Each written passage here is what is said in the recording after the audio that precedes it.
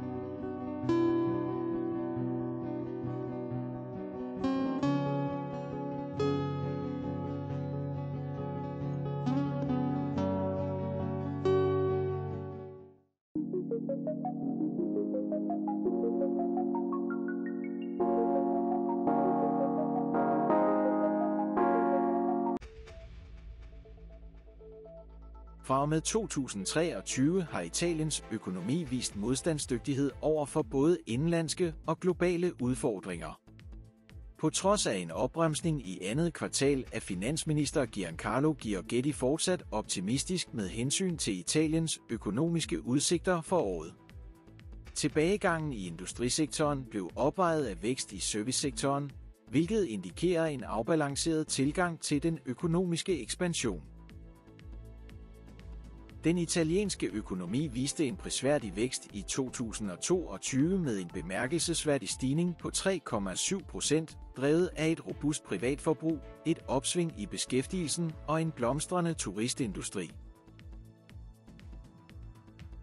Finanspolitiske støtteforanstaltninger spillede en afgørende rolle for at styrke købekraften og fastholde den økonomiske vækst. Men ligesom mange andre økonomier er Italien ikke immun over for usikkerhed og risici.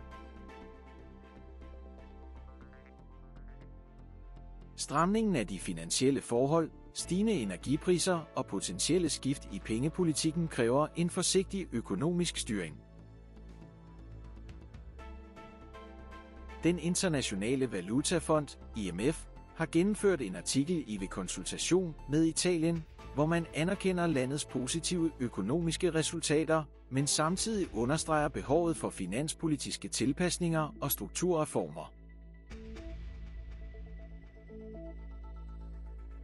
Det er fortsat en prioritet at få styr på budgetunderskuddene og den høje offentlige gæld for at sikre bæredygtig vækst på lang sigt.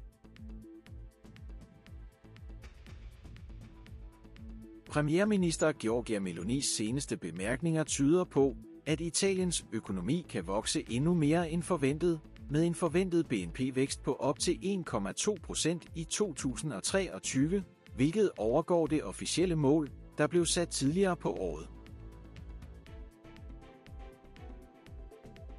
For at sikre økonomisk stabilitet fortsætter den italienske regering med at fokusere på væksten i servicesektoren, samtidig med at den tager skridt til at genopleve fremstillingssektoren, som oplevede en nedgang i juni. Disse bestræbelser sigter mod at opretholde en positiv økonomisk kurs og fremme en robust økonomi i det dynamiske globale landskab. Overordnet set navigerer Italien beslutsomt i den globale økonomis kompleksitet og udnytter mulighederne, samtidig med at man tager fat på udfordringerne for at opnå bæredygtig vækst og velstand i 2023.